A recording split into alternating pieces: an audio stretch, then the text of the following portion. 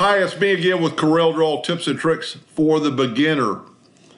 Over the last several days, I've had several people ask me to do some videos for beginners. So I've done four so far. But I thought I'd show you, and I've done a video exactly like this, how to find the video a video that can help you on my channel. So if you're on my channel watching one of my videos, there are two magnifying glasses. One of them is up here, and it'll search all of YouTube. But the other one is right here. So if you want to find out how to weld something, just type in the word weld and hit enter.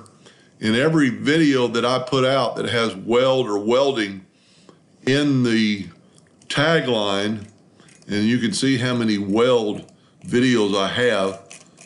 And I don't care what the subject is. Um, let's try um,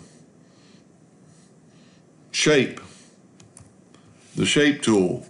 So every video that I have that has the word shape in it, shape tool to change text, shape tool with text.